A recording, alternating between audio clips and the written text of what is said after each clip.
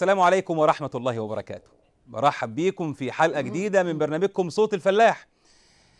آه النهاردة الحاج آه، أبو عوض بعت لي بيقول لي نقابة من نقابات الفلاحين قررت إن هي تتاجر في الخضار والفاكهة وتعمل عقد عمل آه مع وزير التموين. وطبعا ده بعد ما وزير الزراعة عمل عقود برضه مع الجمعيات الزراعية النوعية عشان يوزع عليها الأسمدة. أبو عوض بيستغرب وبيقول هو إيه يا ناس؟ إزاي نقابة من نقابات تضيع 3 مليون جنيه من الفلاحين في عملية نصب وهمية في الحج؟ وبرضه رغم ذلك النهاردة مش عارفين حد يحاسبها. ده كلام أخونا أبو عوض في رسالة من فلاح. خلوني أرحب بضيفي وضيفكم الحاج عبد الرحمن شكري آه، نقيب فلاحي مصر ووكيل لجنة الزراعة والري مجلس الشعب. حاج عبد الرحمن هنشوف أنا وحضرتك آه، صرخة من من فلاحين مصر ونرجع نناقش الرسالتين مع فلاحين سوهاج بيقولوا إيه؟ لينا ولكل الناس. نشتري شوال الكيماوي ب 165 جنيه. مش مكفي يعني يا ريت حتى بيدونا شوالين مثلا على نص الفدان أربع شوالات على الفدان ما بيعملوش أي حاجة. بنشتروا كدهم أربعة والك- والسماد مضروب. بس يسيبونا هم بس على الراجل يسيبونا في حالنا خلونا نعيش ونربوا عيالنا وخلاص. وبعدين العيشه تعبانة خالص يعني في الصعيد زي ما انت شايف حضرتك هنا موسم شغالين مثلا 150 جنيه و50 جنيه تعمل إيه في بيت مثلا فيه ثلاث أفراد ولا أربع أفراد. يعني العملية تعبانة خالص ما فيش يعني هنا ما بصيش على المنطقة اللي مقبلة دي خالص يعني. عامة الصعيد ده اعتبر للسوق طلعوا من دماغهم. فمش عارف إيه المعايش دي وإيه الظروف وجو الدولة إيه والبلد إيه. الواحد خلاص قرف زهق من حياته. دي مش معايش والله العظيم والله تعبنا. تعبنا يعني المفروض تشوفوا لنا حل الصعيد ده بالذات. حدش مهتم بيه خالص. فيش اهتمام ولا اهتمام في الري ولا الزراعة ولا المعايش نفسها تشوفوا المعايش ادخلوا بيوتنا وشوفوا. الصعايدة جرفوا الصعايدة زهجوا الصعايدة بيقولوا شوفوا لنا حل. أم الحاج عبد الرحمن. والله يا أستاذ مصطفى هذا هو واقع الحال في مصر. الفلاح المصري الآن في أصعب ظروف يعيشها إنسان في العالم. الفلاح المصري بيقدم أعظم ما عنده ورغم ذلك يلقى يعني جزاء سيء جدا من النظام اللي موجود. النظام الموجود ما يعرفش قيمة للمنتجين. النظام الموجود بيعرف قيمة للفاسدين والمفسدين. النهارده الأخ اللي هو بيتكلم عن الأسمدة آه، هو هو ال- القضية ما هيش السمات بس. طب فين الإرشاد الزراعي؟ طب فين متابعة الجمعية؟ فين ده كله؟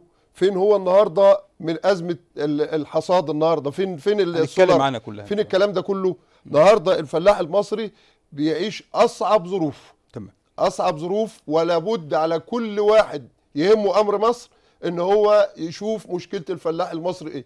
أي موظف له دخل أي عامل له دخل آه، له تأمين صحي له كده. أما الفلاح المصري الآن ليس له شيء بل بالعكس منظومة فساد ضخمة تعمل في أدوات الإنتاج بتاعته وتعمل في آه، آه، لما يجي يسلم المحصول بتاعه. تمام.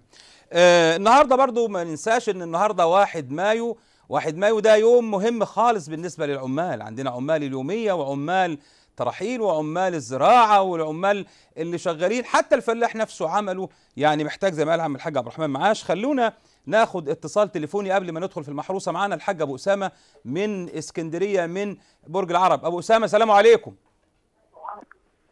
أيوه السلام عليكم. وعليكم السلام. إزاي الحال؟ الحمد لله رب العالمين. طمنا عليكم على اسكندرية. إحنا اهو لسه كان معانا سوهاج اخواننا من سوهاج بيشتكوا من مر يعني من مر الشكوى من الحياة والمعايش. يا ترى الوضع إيه عندكم في برج العرب؟ والله نحمد ربنا على كل حال. إحنا نعم. عندنا طبعا اسكندرية الناس مفكراها إنها محافظة مدنيه. لا إحنا عندنا فيه ريف كتير عندنا أكثر من 150 قرية ريفية. في اسكندرية. في في عندنا حضرتك ال- الغلة النهارده مشكلتنا الكبرى. إزاي يا أبو أسامة؟ المشكلة عن إزاي؟ قول أيوه لنا اتفضل. قول لنا يا أبو أسامة إزاي إزاي الغلة مشكلة كبيرة وإحنا في بدء موسم الحصاد؟ أبو أسامة. أبو أسامة اسمعني من صوت التليفون وسيب التلفزيون. أيوه أنا سامع حضرتك كويس. يا اتفضل. بقول لك إزاي الغلة أو القمح مشكلة في بدء موسم الحصاد؟ حضرتك الإنتاج السنة دي يعني يعني أحسن فدان من 10 ل 12 ل 12 ارداب بالفدان.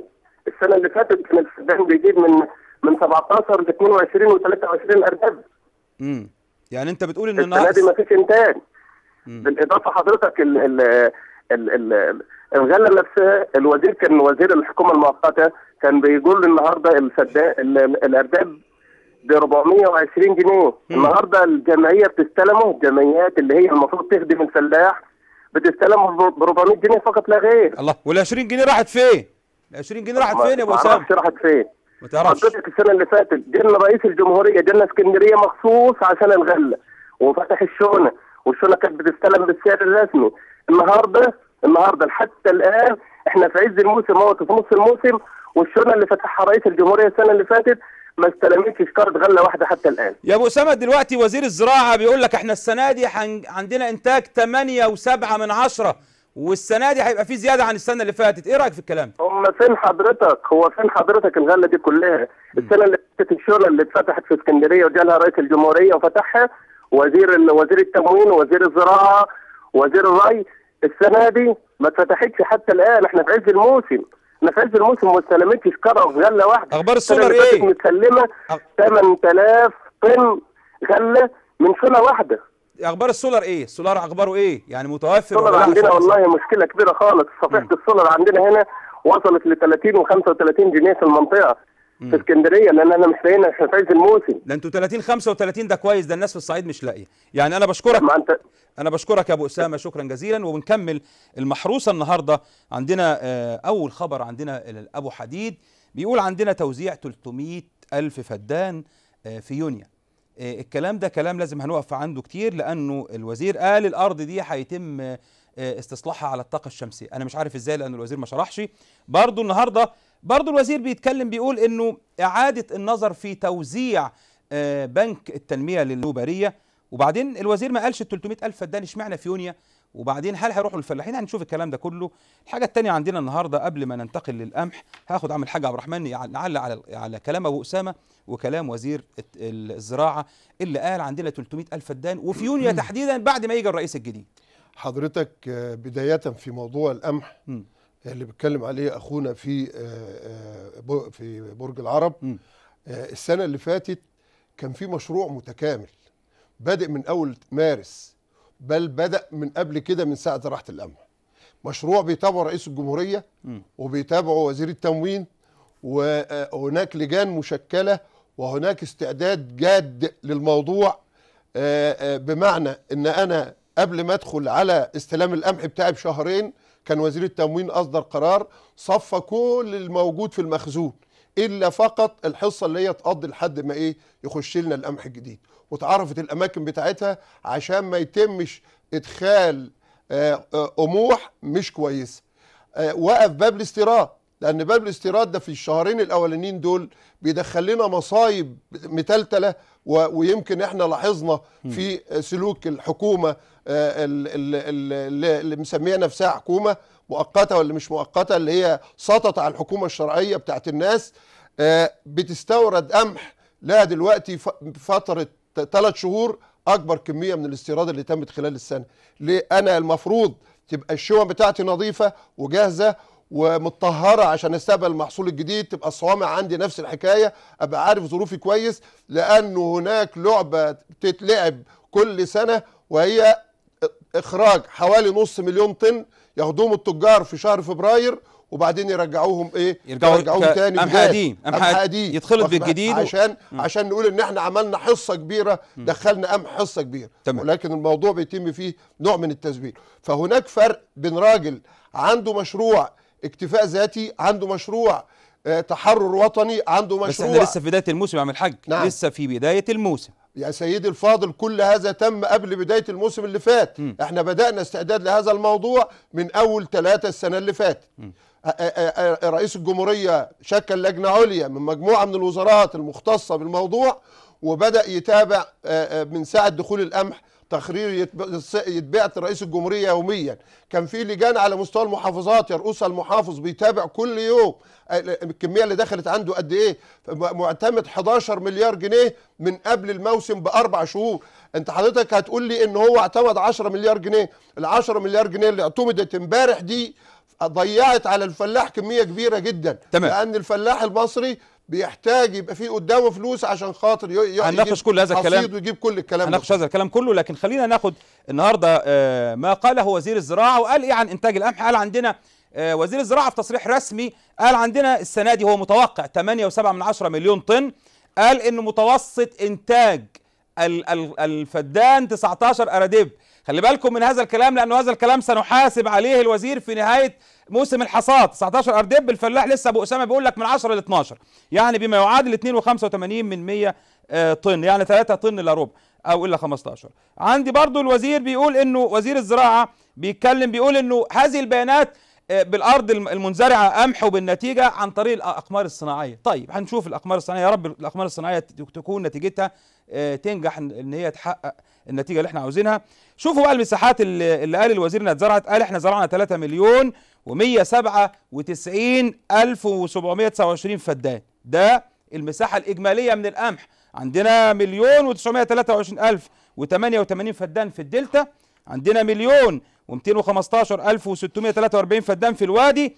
آه، ده الكلام اللي قاله معالي وزير الزراعة بيتكلم عن السنة دي. النهارده السنة دي الوزير قال كلام مهم. خلينا عشان خاطر وزير التموين آه، بعده قال إن زي ما قال عم الحاج عبد الرحمن قال إحنا عندنا 10 مليار جنيه تم تحديدهم إلى آه، آه، آه، وتخصيصهم والبنك المركزي وافق عليهم للقمح لاستلام القمح من الفلاحين. طيب ده كلام خالد حنفي وزير آه، وزير التموين اللي قال إحنا يعني تقريبا آه، هناخد 4 مليون طن بزيادة قدرها 400 ألف عن السنة اللي فاتت.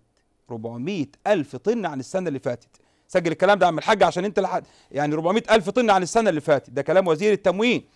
أيضا قال تم استلام كميات تزيد على 40% من الع... عن العام الماضي مقارنة. بنفس الفترة من العام الماضي. يعني عندنا 40% قبل ما ما أخلص القصة ديت عندي حاجة يعني آه، إحنا كده خلصنا وزير الزراعة وزير التموين. في حاجة بقى طلعت على السطح امبارح والنهاردة. يعني مرتبطة بالقمح بلاغ للنائب العام آه، البلاغ ده نشرته إحدى الصحف القومية آه، مسربا من الني- النيابة العامة ضد آه، وزي ضد السيد محمد سعيد حافظ اللواء لو سمحت. آه طبعا اللواء محمد عم الحاج بيفكرني إنه اللواء كله آه. بقى لواء دلوقتي عم الحاج كله كله آه. لواء بس بيتقال سيد هو مكتوب السيد بس هو اللواء اللواء دي في 2012 آه. يعني مش في النهارده آه، في قبل كده كان لواء طبعا اللواء محمد سعيد حافظ طبعا كل كل آه كل مواطن آه يعني بريء حتى تثبت. ادانته لكن هذا البلاغ مقدم شوفوا مقدم ليه. مقدم لأنه هذا ال- اللواء آه متهم بإهدار 9 و400 ألف آه 9 مليون و400 ألف جنيه آه بالاتفاق مع إحدى الشركات الإماراتية التي تم الاتفاق معها على التخزين وعلى آه، تخزين القمح وعلى نقل القمح. وإن الشركة الإماراتية هذه الشركة الب- البيانات عندكم ادي البلاغ على الهوا اهوت موجود.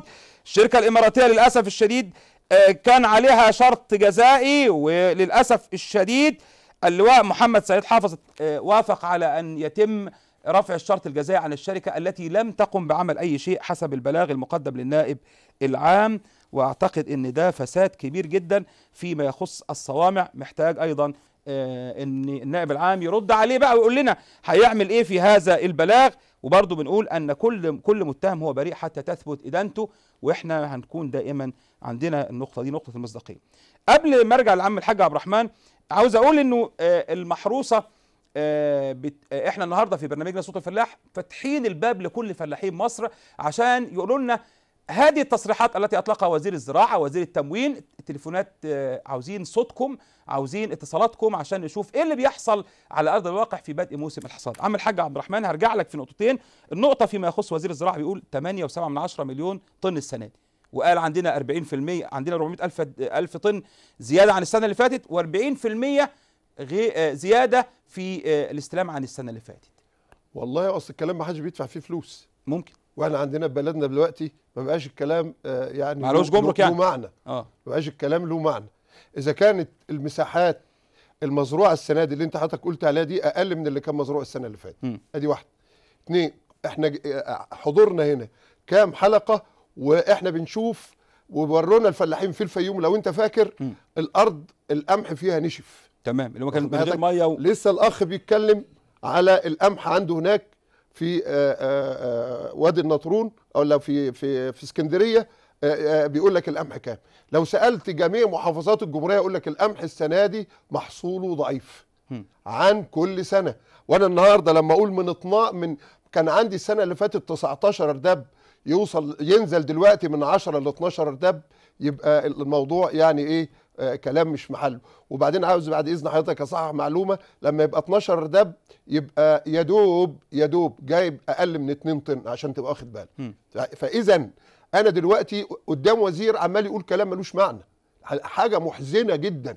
آه، آه، جاب منين المعلومات دي يا عم ما؟ عادتش ما عادتش الوزارة. جابها منين؟ نعم. جاب- جاب البيانات دي منين؟ ما إحنا بنقول أهو. بنقول إحنا دلوقتي قدام وقائع بعدين آه، يعني ما- مش مجرد إن هو يقعد يقول كلمتين بيتهيأ إن كل الخلق اللي حواليه دي ما هيش فاهمة الدنيا لا الناس فاهمة وعارفة إن هو بيقول لهم كلام مش حقيقي والناس بس إيه يعني بتتحرج أو اللي ماشي وراه لمصلحته أنا معايا تليفون.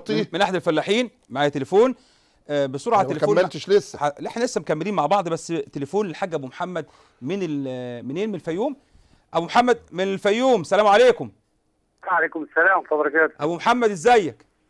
إزي حضرتك؟ تحياتي لحضرتك وحضرتك عبد الرحمن. الله يبارك فيك. يا مشاهدي الله الجزيرة. يعزك. الله يكرمك. أبو محمد يا ترى ال... أنت طبعا يا ريت تكون تابعتنا وشفت الوزير بيقول إنه آه، في 40% زيادة في استلام القمح عن السنة اللي فاتت. وزير التموين وزير الزراعة بيقول برضو إحنا عندنا 400 ألف طن آه، زيادة عن السنة اللي فاتت. أنت شايف على أرض الواقع إيه أخبار إنتاجية الفدان كام عندكم في الفيوم؟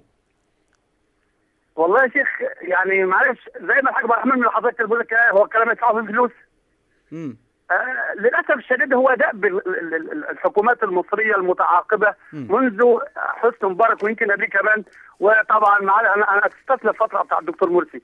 واخد بالك؟ كان كان كلام واقعي. دلوقتي أنت بتقول هيزيد 40% من الإنتاج. فين الإنتاج؟ اولا فين كمية الأرض الزراعه اللي اتزرعت؟ هل هي بتساوي الكمية بتاع السنة اللي فاتت؟ ده رقم واحد. الإنتاجية نفسها.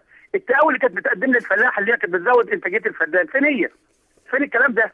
كلام طبعا للاستهلاك الإعلامي عشان يثبتوا الناس وعشان يردوا الناس وفي الآخر فين الكلام ده؟ لسه بي- بيدفع الوزير بيقول اعتمدنا 10 مليار جنيه عشان الفلاحين، الناس بدأت تحصد وتعمل فين السولر وفين ال- ال- البنزين وفين كل المجهودات الحكومية اللي هي المفروض تقدم للفلاح قبل موسم الحصاد أو قبل موسم الزراعة أو ده كله عشان أخبار السولر إيه. عندكم؟ أخبار السولر إيه أخباره عندكم؟ موجود؟ حضرتك حبيت أخش البتاع ال- ال- البنزينه عشان أجيب الغد عندي. للأسف الشديد الراجل ال- ال- مدين تعليمات ما تاخدش البنزين أو السولر إلا مركبات طب أنا راجل فلاح عندي بتاع مكنه مية ولا عندي دراسه هشتغل بيها هنقلها عند ال... عند البنزين الكوبونات فين يا أبو. محمد الكوبونات اللي نعم؟ كان بيتكلم عليها وزير الزراعة وزير التموين في كوبو قال في هي كوبونات هي فين يا أستاذ مصطفى هي فين الكوبونات دي؟ مم. هي فين الكوبونات كوبونات. حضرتك كلام ما أنا بقول لحضرتك كلام است... للاستهلاك للأسف الشديد ده اللي إحنا بنشوفه وكلام مش مدفوع والله أنا أنا. أنا من خلال من خلال كلامك ومن خلال البرنامج بوجه هذا الكلام كلام الفلاحين وصرخات الفلاحين للسادة المسؤولين وزير الزراعة ووزير التموين وبترك وبقول للحكومة المؤقتة لو في حد عنده عنده كلام يرد علينا ويقول لنا لأنه الفلاحين على أرض الواقع بتقول ما فيش حاجة خالص يعني أبو يعني محمد حضرتك اتفضل اتفضل. مدين تعليمات للبنزينات ما تديش إلا للمركبات. يعني أنا عندي مكنة ري في الغيط أو عندي دراسه في الغيط هنقلها عشان لل- لل- للبنزين عشان أخد فيها سولر باخد. جيركن عشان أخد فيه السولر وآخد فيه البنزين هات لي البتاع. برضه في طب أنا أنا الغيط محمد. عاوزين ناخد. معلومة منك عشان إحنا بنعمل متوسط. يا ترى انتاجيه الفدان في في الفيوم كام تقريبا يعني؟ يا بيه أحمد كتر خيرهم كان كان 10 10 أرادب السنة دي. اذا اذا إذا كان يعني أنت كويس. يا هيبقى ستار. 10 أرادب على أقصى. تقدير إن شاء الله. شكرا جزيلا محمد وربنا يزيد البركة. شكرا جزيلا محمد من الفيوم. مع السلامة. شكرا جزيلا ليك. اتصال. وعم الحاج عبد الرحمن هنشوف تقرير ونرجع نناقش هذا الموضوع كله كاملا. موضوع. القمح. وعاوز أقول قبل التقرير أنا طرحت تساؤل مهم جدا بعد آه، آه، هذه النقطة. التساؤل كان بيتكلم يا ترى رأي الناس إيه في الدكتور باسم عودة الذي لم يختلف عليه لا المؤيد ولا المعارض في فيما قدمه العام الماضي في القمح. هقول لكم يعني إن شاء الله هقول لكم الن- النتيجة بتاعت ال- هذا الاستطلاع لأنه حاجة مبهرة ورجل يستحق أن نعطيه حقه بعد هذا التقرير. القمح الليلة الليلة بنسعيده يا رب تبارك تبارك وتزيده القمح الليلة الليلة بنسعيده يا رب تبارك تبارك وتزيده يا رب تبارك يا رب تبارك آه يا رب تبارك وتزيده غنى له عبد الوهاب. لأهميته وقيمته ولأنه عيد لكل بيت وموسم لكل مزارع هو القمح أو الغلة المحصول الأهم للمصريين. بس والفلاح عمره ما يتأخر. طالما طالع بستلم حاجات ده متوفروا له. تقاوي كيماوي مية. بنروي بصرف بميه صرف صح وعندنا مشاكل في الكيماوي وفي التقاوي اللي قاعدين في الجمعية ولا ولا الفلاح ده كان له أي مكانة خالص. خلي بال سيادتك والمحصول السنة ضعيف عن السنة اللي فاتت. السنة اللي فاتت كان احسن وبالرغم من أهمية المحصول إلا إنه لسه بلدنا مصر المحروسة رقم واحد في استيراده بعد ما كانت بتأكل العالم كله. وده طبعا يرجع لكتير من المشاكل. كيمو ب 180 جنيه وب 200 جنيه. طبعا عشان نروح مثلا نصرف من الجمعية ما بنلقاش وال وال وال وفي نفس الوقت برضو بياخدوهم يبيعوهم للناس المعرفه ولا السوق السوداء والكلام ده. وإحنا بنجيب شكرة الكيماوي بدل ما نحط مثلا للفدان شكرتين أو ثلاثة بنضطر نحط شكارة أو اثنين ساعة الدراس ب 80 جنيه. راجل الحصاد بنجيبه ب 60 جنيه. يعني الفدان بياخد له بتاع مثلا آه، 20 راجل حصاد ب 60 جنيه. التكلفه صعبة وال- والحالة مش مكفية. ورغم شكوى الفلاحين من المية والتقاوي إلا إن برضه في مزارعين ناصحين بيحاولوا يزرعوا القمح رغم عجز الجمعيات الزراعية عن مساعدتهم بعد ما مات الإرشاد الزراعي. كلف كتير يعني الراجل بيجيب راجل ب 60 جنيه و 70 جنيه. هنا بجرار الشعب ب 70 و 80 جنيه.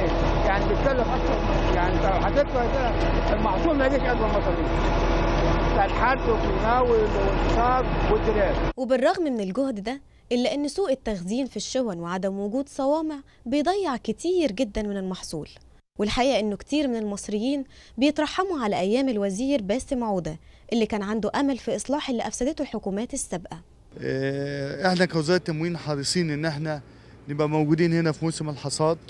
إن إحنا نشوف الخير ده كله ونقول لأولاد بلدنا إن ده إن شاء الله كله ليكوا ولاولادكم كل الجهود اللي بتبذلها الحكومة آه، وزارة التموين وزارة الزراعة عشان القمح ده في الآخر نشوفه رغيف عيش في إيد ولادنا.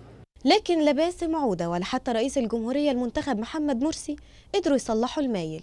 بالرغم من الرغبة السياسية والإرادة اللي كانت واضحة في إن هم يحققوا طفرات في محصول القمح وده لأن كان الفساد أكبر. يتحول الجهد ده إلى إرادة. لما نقف مع بعض النهاردة عشان نقول لكل فلاح مصري كل سنة وانت طيب وبنقول له إحنا كلنا بنقدره وبنحبه وعايزين الجهد ده يزيد. والنهاردة بالرغم من إعلان وزارة الزراعة اهتمامها بالقمح إلا إن الواقع بيقول إن السيول في أماكن وقلة المية في أماكن تانية أثرت على محصول القمح وطبعا على رغيف العيش للناس الغلابة.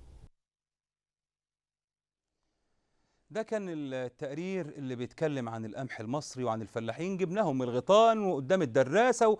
وكل واحد بيشكي همه وبيقول اللي بيحصل عنده.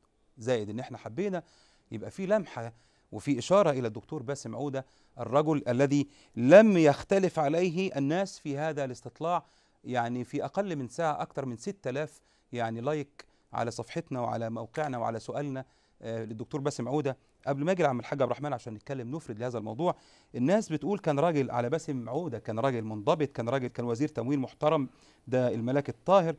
آه، خالد بيقول جهود مشكورة جعلت بورصة القمح تنخفض فيها الأسعار. واحد تاني بيقول وزير الغلابة. يعني تدمع عين عليه. واحد تاني بيقول محترم في زمن قل فيه الاحترام في السجن مخلد. طبعا ده واحد معترض. أنا مش عارف يعني يعني في السجن مخلد يعني لما يبقى وزير تموين كان كل وسائل الإعلام بتطلع تشكر فيه يبقى نفرح لما آه واحد فك الله اسره راجل جد كان هينفع. كلام البلد كلها كلام كبير جدا عم الحاج. آه يعني نريد أن نقول أن مصر يعني نتفق أو نختلف لكن هناك رجال مصر تحتاجهم في كل الأحيان وفي كل الأوقات. زي باسم عود. آه أنا هبدأ بس من اتفضل. اللي أنت قلت عليهم. السيد الوزير بيقول إن في زيادة 40% مم. كلام مم. لا معنى له. مم. كلام ملوش أساس. تيجي منين الزيادة وإحنا شايفين؟ الأرض قلت والمحصول قل تيجي منين؟ غير إن واحد بيحاول يوهم الناس. وهي دي ال ال ال ال ال طبيعة من يسطو على الحق. هي دي طبيعة الناس اللي تسطو على الحكومة الحقيقية وتاخد مكانها. فهو عاوز يثبت إن هو موجود لكن هو في الحقيقة مش موجود. هيقدر يزور؟ عاوز يثبت إن هو ناجح هو في الحقيقة فاشل. هيقدر يزور النتائج نعم. والأرقام؟ هيقدر يزور الأرقام؟ نعم. كله كلام مكتوب على ورق.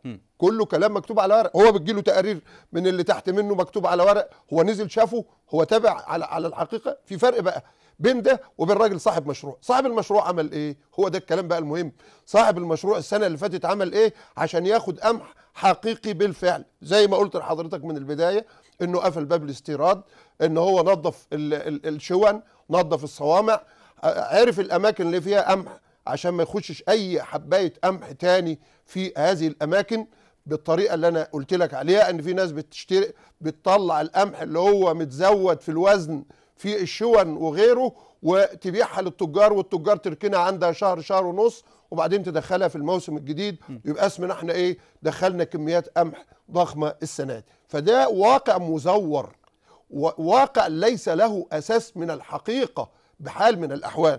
لما الراجل بتاع الصوامع آه، آه، يعمل العملية دي السنة وإحنا في مجلس الشعب آه، اللي حصل جالنا آه، آه، رئيس بنك التنمية وقال أنا مستعد أعمل صوامع تكفي المحاصيل في مصر وخصوصا محصول القمح بشرط واحد بس اسمع الشرط اللي الراجل قال قال بشرط إن وزارة التموين م- م- هيئة السلع التموينية تتعاقد معايا على إن هي تخزن محصولها عندي خلال طو- لمدة 10 سنوات. أنا هعمل كل الصوامع اللي عاوزاها الهيئه آه، بشرط إن هي تديني عقد لمدة 10 سنوات إن هي تخزن عندي بالأسعار اللي بتخزن بيها بره عند أي حد. هل هذا شرط صعب؟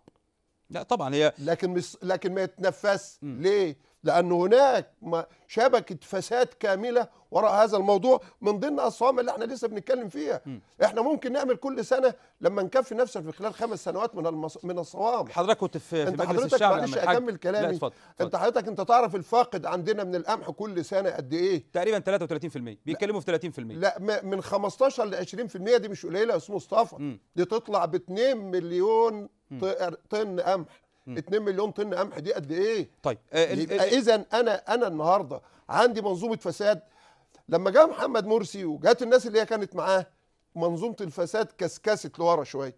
لكن خلاص النهارده ما عادش في حد ما حدش هيسائل حد. طيب إحنا إحنا فرجعت منظومة الفساد كما هي. إحنا لا نختلف ولا يعني على إنه كلنا نتمنى إنه كلام الوزير حتى لو اختلفنا معاه يطلع حقيقي.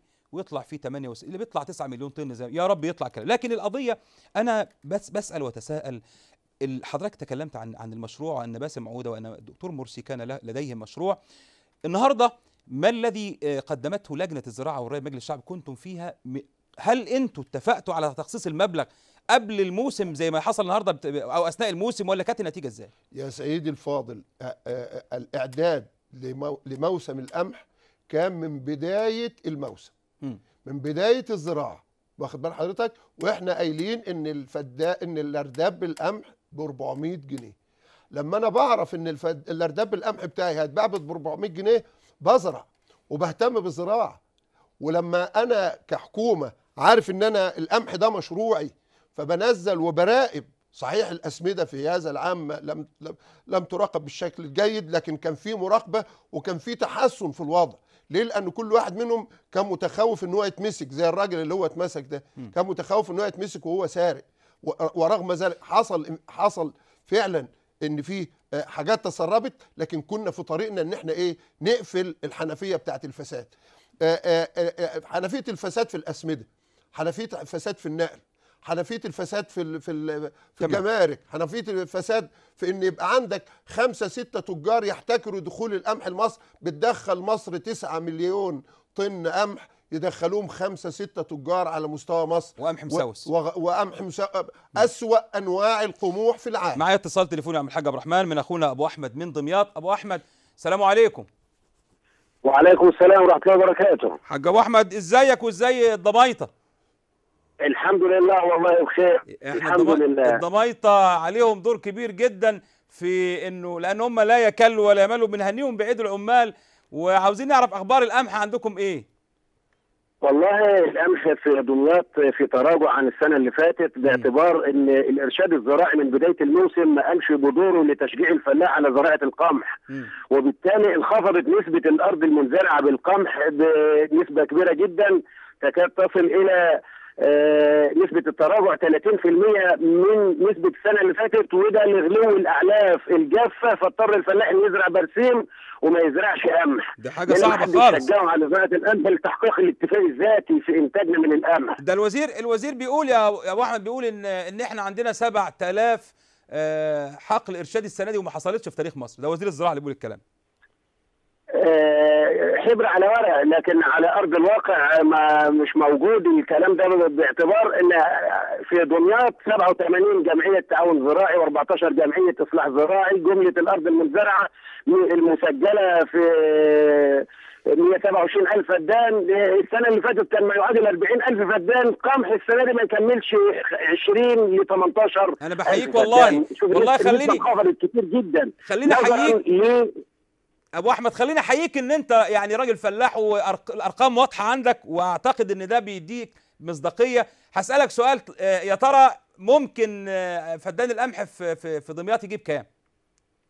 آه، والله القمح من السنة اللي فاتت كان 22 20 18 السنة دي المتوسط بتاعه أعلى حاجة آه، 14 آه، 12 المتوسط 10 ويبدو القمح زعلان على النظام ال- ال- صح، صعب اللي خالص. عشان كان نظام السولر أخباره إيه؟ لعل فيه تق تق والله لما رفعت فراح معاها البركة من القمح إن شاء الله البركة هترجع والبركة دي موجودة في مصر دوب يا حاج أبو أحمد البركة فيك وفي الناس المحترمة وكل فلاحين مصر اللي بيشتغلوا وإن شاء الله السنة السنة اللي فاتت في دمياط عملنا لجنة قومية للقمح تحت إرشاد السيد المحافظ والسكرتير العام للمحافظة.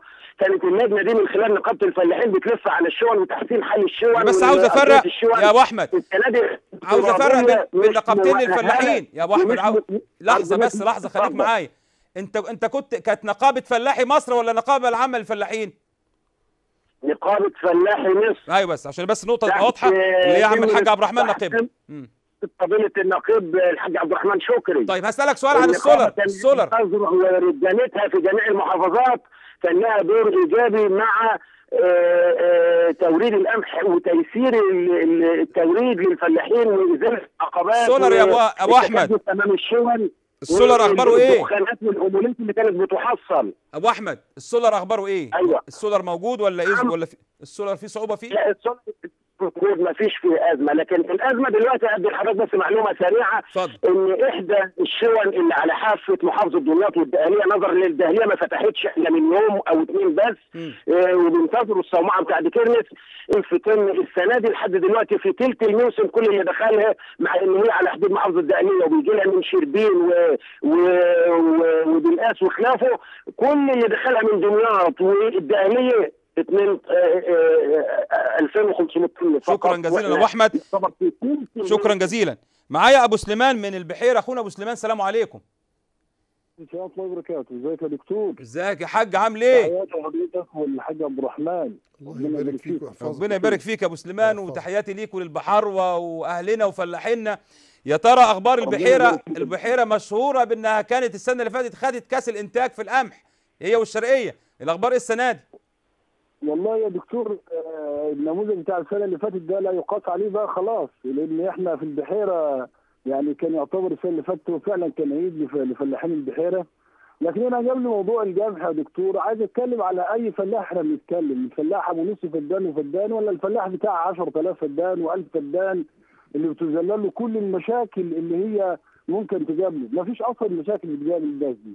إحنا النهارده يا دكتور موضوع الفلاح عايزين في الفلاح الأول اللي إحنا بنتكلم عنه بنعبر عنه لأن الفلاح اللي أصبح المنتج الحقيقي هو الفلاح اللي المفروض في إيديه في الأرض وبيشتغل ليل ونهار لكن كل المشاكل لا تذلل له طيب. ولا حد بيساعده ولا حد بيتكلم. خلينا برضو يا يا. حاج أبو سليمان عشان بس إحنا ما نخرجش خارج النقطة بتاعتنا إحنا بنتكلم في القمح يا ترى أنت متوقع إنتاجية أو مش متوقع أنت عندك على الأرض على أرض الواقع في البحيرة في اللي اتحصد إنتاجية الفدان كام ارديب يا ترى هو بكل المقاييس مش هيزيد على اخواننا اللي قالوا ال- اللي سبقوني في البرنامج اللي اتكلموا فيه من 11 ل 12 اردب بيبقى على اعلى انتاج لأن السولارات اللي المفروض تكون متوفرة للفلاحين ما هيش موجودة. السولار أخباره إيه؟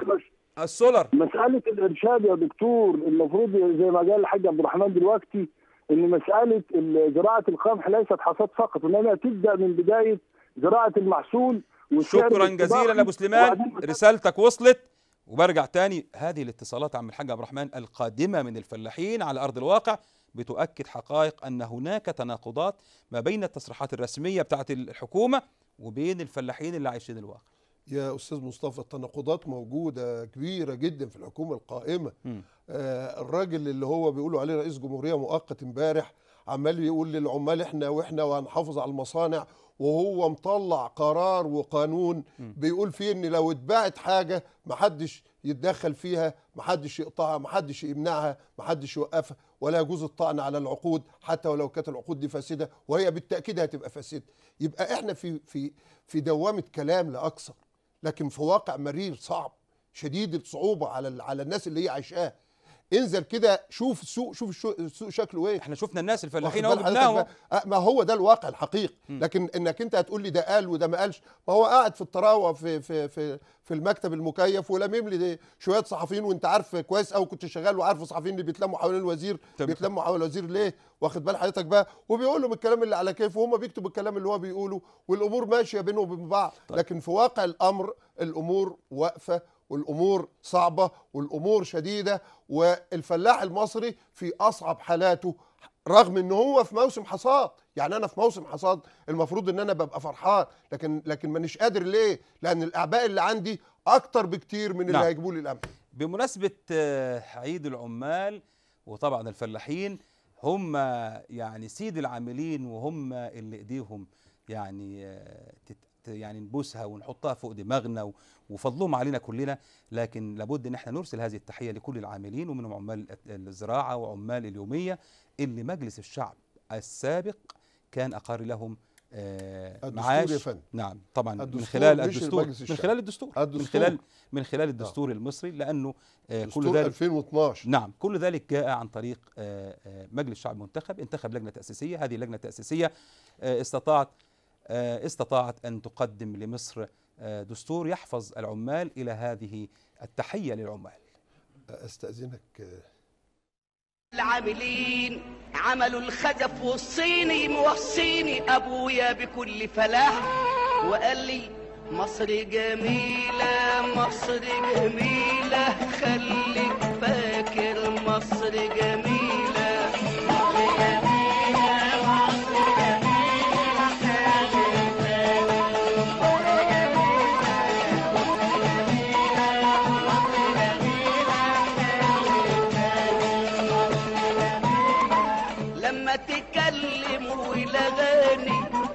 بحر المواويل ولغاني لما تكلم ولغاني من بحر المواويل ولغاني ما حدش من فكره لغاني مصر جميلة.